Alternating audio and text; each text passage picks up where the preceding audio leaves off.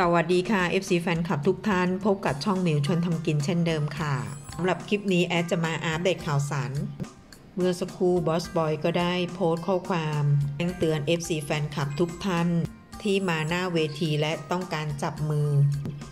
บอสโพสต์ว่า ผมยินดีและภูมิใจมีความสุข เวลาพี่น้องมาจับมือ และผมก็เดินทั่วหน้าเวทีเพื่อจะได้จับมือกับทุกท่านด้วยความจริงใจ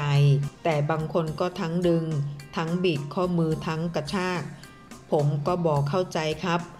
บางทีเราอยู่ในสมาธิที่ต้องแสดงครับ ผมให้เกียรติพี่น้องทุกท่าน เพราะว่าทุกท่านคือผู้สนับสนุน จับดีๆ บายดีๆ ถนอมซึ่งกันและกันเด้อครับ ด้วยความเคารพครับบอสก็ได้โพสต์แจ้งเตือนแม่ๆ FC ทุกท่านที่ไปหน้าเวทีถ้าจะจับมือก็เบาๆไม่ต้องดึงไม่ต้องกระชาก ยังไงก็ปกป้องศิลปินไว้ก่อนดีที่สุด เป็นกำลังใจให้บอสบอยด้วยนะคะสำหรับคลิปนี้แอดก็ต้องขอลาก่อน ขอบคุณข้อมูลดีๆ จากบอยสิริชัยหมอรับใจเกินร้อยขอบคุณ FC แฟนคลับที่เข้ามารับชมเข้ามาติดตาม คนใหม่เข้ามาแล้วอย่าลืมกดติดตามจะได้ไม่พลาดข่าวสาร ไว้พบกันคลิปหน้าสวัสดีค่ะ